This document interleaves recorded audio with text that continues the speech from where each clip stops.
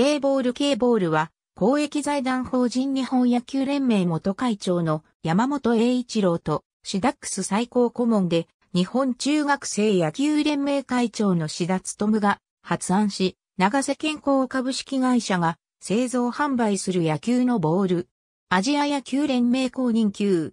2011年には国際野球連盟の推奨級として認定されている。中学生が軟式野球から高校の公式野球へスムーズに移行することと、野球の国際的な普及を目的として2000年に開発され、2001年にはこのボールを公認級として中学3年生対象の全国大会を主催する日本系ボール少年野球連盟が発足した。小中学生時代に軟式野球に慣れ親しんでいた選手は高校で公式野球に移行した際にボールの重量や大きさ、バウンド時の挙動の違いなどから怪我をしやすく、また技術面においてもリトルリーグ経験者に遅れを取る傾向があった。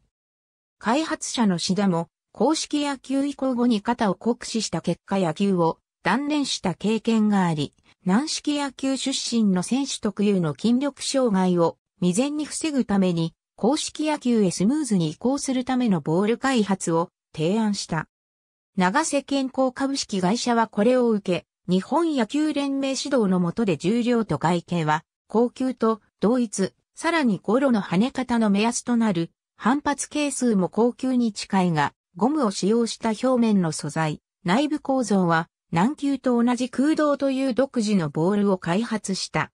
健全な精神、強健な身体、国際的なスポーツマンの育成の頭文字を由来とし、K ボールと命名された。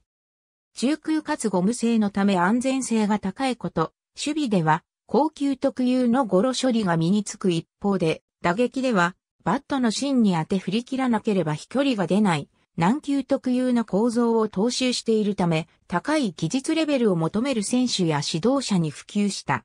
また、高級に比べて価格が3分の2と経済的であるため、アジアや中南米の国々でも受け入れられ、連盟発足1年目には国際大会が開催。カテゴリー U-15 所属の中、近年では台湾や韓国等の代表チームが上位に食い込んでいる。また、K ボールの経験者が高校野球で甲子園への出場やプロ入りを果たすケースも増えている。日本系ボール少年野球連盟は2007年にキロバイト野球連盟、2015年には、ボールの故障、商品名、連盟名を統一するために、KWB ボール、日本 KWB 野球連盟に解消されたこともあったが、2018年に軟式級の規格変更により従来の A 号と B 号が統一されて M 号となり、公式野球のプレーに近づけるという開発コンセプトが K ボールの理念と近いことから同年の全国大会から使用級は M 号となるとともに、連盟は法人化し、一般財団法人日本中学生野球連盟となった。日本中学生野球連盟国際事業の節を参照。ありがとうございます。